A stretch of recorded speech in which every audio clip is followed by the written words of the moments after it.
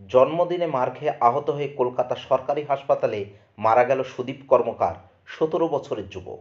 অভিযোগ, গত উনত্রিশে জানুয়ারি নিজের জন্মদিন উপলক্ষে দোকানে বন্ধুদের চা খাইয়ে বন্ধুদের বাইকে করে বাড়ি ফিরছিলেন তেহট্ট থানার কানাইনগর গ্রাম পঞ্চায়েতের প্রতাপনগরের বাসিন্দা সুদীপ।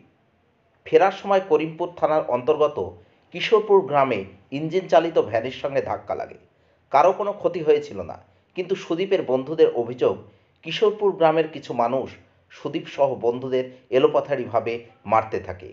লোহার রড দিয়ে সুদীপের মাথায় আঘাত করলে ঘটনাস্থলে সুদীপ পড়ে যায়। প্রথমে সুদীপকে কৃষ্ণনগর হাসপাতালে, পরে কলকাতার একটি নার্সিংহোমে ভর্তি করা হয়। সুদীপের পিতা নেই। রোগে আক্রান্ত হয়ে মারা গেছে। মা অন্যের বাড়িতে কাজ করে। সুদীপ অল্প বয়সে রাজমিস্ত্রির কাজ করে। সুদীপের চিকিৎসা বাবদ সমস্ত খরচ সুদীপের গ্রাম প্রতাপনগরের গ্রামবাসী বিভিন্ন মাধ্যম থেকে জোগাড় করে চালাচ্ছিলেন। আজ শনিবার কলকাতায় চিকিৎসাধীন অবস্থায় সুদীপের মৃত্যু হয়। প্রতাপনগর গ্রামবাসী সুদীপকে যারা মেরেছে, তাদের শাস্তির দাবিতে সুদীপের বাড়ির সামনে জমায়েত হয়। আমি বললাম, বাবু, একটু ভাত খাও, খেয়ে ওরা ডাকছে, তারপরে যাও। বললাম মা, ওরা আমাকে ডাকছে, আমি যাই, একটু ওদেরকে কিছু খাইয়ে তারপর বাড়ি এসে ভাত খাব। এটুকুই আমাকে বলে দিয়েছে। বেশি দেরি করো না বাবা হবে? বলল না না তুমি না হয় একটু দেরি আমি তো দেরি হয় ফোন ডেকে তারপরে তো এই ঘটনা স্যার। তারপরে? তো আমাকে কেউ খবরই দেয়নি আমি আর বলতে পারব না। তারপরে আমি নটার সময় খবর পাই পাশের গ্রামের একটা ছেলে এই গ্রামেরই একটা ছেলে এসে বলে ঠাকুমা তোমার ছেলে কোথায়? আমার আমার ছেলে বাজারে গেছে বলল ফোন করো।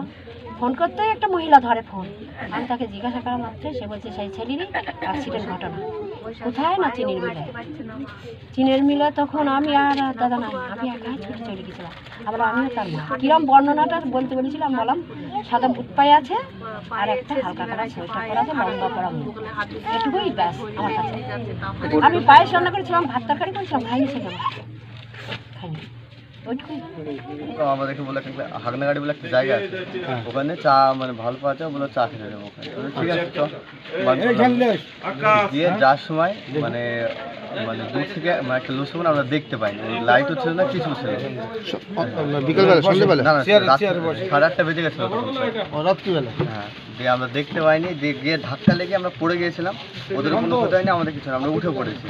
তারপরে ওরা কিছু না বুঝে সব কুড়ি পঁচিশ যে যেমন পেরে মারধর শুরু করে দিয়েছে। শুধু এর এখানে রড দিয়ে মারা হয়েছে। তো ওখানে অজ্ঞান হয়ে গেছে তারপর বুকে লাথি মারা হয়েছে তারপর আমাদেরকে কুড়ি পঁচিশ জন ধরে দুজনকে মারা হয়েছে। মারার পর আমাদেরকে মাঠে দিকে নিয়ে যাওয়া হয়েছে একে বেঁধে বলে মেরেছে। তারপরে আমাদেরকে ধরেন বেধড়ক মার যে যেমন পেরেছে। তারপরে ওখানে আমার গার্জেন কি কারোর আহ- কেউ আহত হয়েছিল? না ওদের কেউ কিছু হয়নি। ওদের কোনো ক্ষতি হয়নি কিছু হয়নি। আমাদেরকে বেরোত মারতে হয়েছে। মারতে মারতে ওইদিকে মাঠের দিকে নিয়ে গেছিল, মেরে ফেলেন বলে আর কি। ওখানে সুদীপ তো পড়েছিল ওর অবস্থা খারাপ হয়েছিল, তারপরে ওখানে আমাদের গার্জেন আছে, তারপর আমাদেরকে ছেড়ে নিয়ে যাব আর সুদীপের জন্মদিন ছিল। ও দু তিনজনের বন্ধু বান্ধব মিলে ভাগনা গাড়িতে চা খাচ্ছিল। চা খাওয়ার পরে ওরা ফিরছিল। তখন রাত্রি মোটামুটি আটটা সাড়ে আটটা হবে। ওই দিক থেকে একটা লসি বান আসছিল সেই লসি বান্ধের সঙ্গে এদের একটু সংঘর্ষ হয়। কারোর কোনো দৈহিক ক্ষতি হয়নি। তো তারপরে ওখানকার যারা লসিমান নিয়ে চালাচ্ছিল তারা আরও কিছুজন মিলে এদেরকে চরমভাবে মারধর করে এবং সুদীপকে রড দিয়ে মার, মারার ফলে অসুস্থ হয়ে পড়ে এবং বাকি যে দুজনা ছিল, এই প্রতাপনগর থেকে ওদের গার্জেনরা যাওয়ার ফলে ওরাকে ওদের উদ্ধার করে নিয়ে আসে, তো ছেড়ে দেয়। অসুস্থ অবস্থায় সুদীপ প্রথমে হাসপাতাল, তারপরে পরবর্তী সময়ে কলকাতা হাসপাতালে চিকিৎসা করতে করতে সে মারা যায়। এটা অত্যন্ত বেদনাদায়ক ঘটনা। মানে হাজার হাজার অ্যাক্সিডেন্ট ঘটে, কিন্তু তাকে পিটিয়ে মারা এ ধরনের ঘটনা একদম নজিরবিহীন। আমার জীবনে অত্যন্ত এই ধরনের ঘটনা আমি দেখিনি। আমার বাষট্টি বছর বয়স সংঘর্ষ হতে পারে মানে অ্যাক্সিডেন্ট ঘটতে পারে, কিন্তু মানুষকে মেরে ফেলা, এটা বাঞ্ছনীয় নয়, এটা আশা করা যায় না, এটা অন্যায়। এই অন্যায়ের যেটা বিচার হওয়ার, পরিবারের সঙ্গে দেখা করলাম, কথা বললাম তো আমি এখানে গ্রামবাসীরা অনেকেই আছেন প্রত্যেককেই বলব যে নিজের হাতে আইন তারা যেমন তুলে নিয়েছে, আপনারা তুলে নেবেন না নিজের হাতে আইন।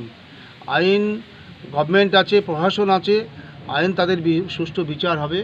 এবং এই ভদ্রলোকের ওর বাবা বাবা নেই, মা আছে, বিধবা মা ওই ছেলেটাকে নিয়ে আজকে স্বপ্ন ছিল যে পরিবারে আজকে আর কেউ নেই, মাথার উপরে কেউ নেই। ছেলেটা বড় হচ্ছিল, রাজমিস্ত্রি কাজ করতো।